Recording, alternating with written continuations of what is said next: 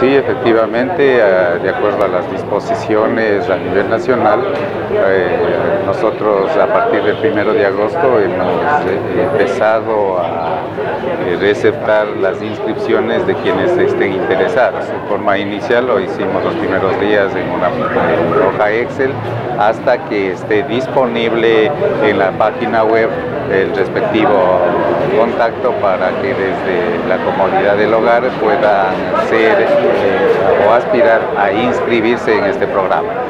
Los clientes que tengan interés pueden entrar a la página web, entre las páginas de la empresa eléctrica www.easa.com.nc y realizar eh, la inscripción para ser beneficiarios de este programa que se está realizando.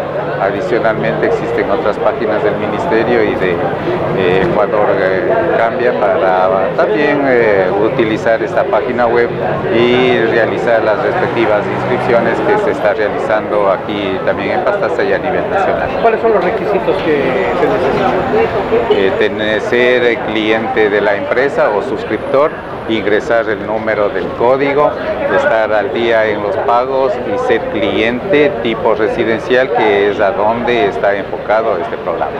Eh, con el tema de las cocinas de inducción, sabemos que hay un, plazo perentorio para el pago de las mismas. ¿Cómo se está organizando?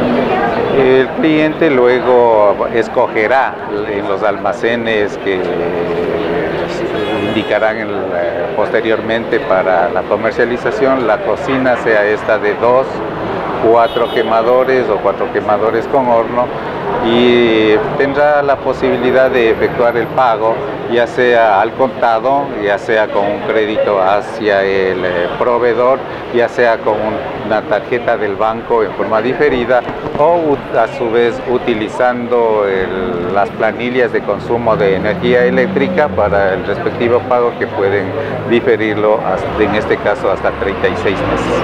¿Y qué va a pasar con el sector rural? Igualmente, todos somos ecuatorianos y los que estemos eh, con estas características tranquilamente podríamos inscribir. ¿Empezarán algún proceso de socialización? A nivel nacional se ha venido eh, disponiendo haciendo esta campaña, por eso es lo que estamos comentando.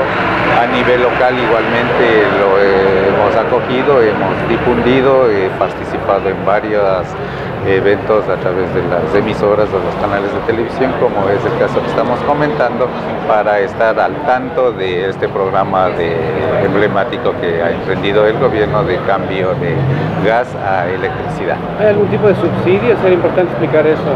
Sí, cómo no. El gobierno nacional ha indicado que para la cocción eh, eléctrica eh, existirá un subsidio de hasta 80 kilovatios hora del consumo incremental y 20 kilovatios hora mensuales para el calentamiento de agua, de acuerdo a las disposiciones dadas a nivel nacional por el gobierno nacional. ¿Qué significa eso en dinero eh, estaríamos, eh, o sea, queda, eh, queda subsidiado, lo que no podríamos, no, no quisiera confundir. lo que quiero decir es que si un cliente estaba consumiendo un promedio de 200 kilovatios hora al mes y luego de utilizar las cocinas consume 280 kilovatios hora al mes, lo que debe pagar son únicamente de los 200 kilovatios hora al mes, es decir, está subsidiado los 80 kilovatios hora para cocción del incremento del consumo. ¿Ese subsidio cuánto durará? Eh, se indica que tendrá, tendrá hasta finales del 2017.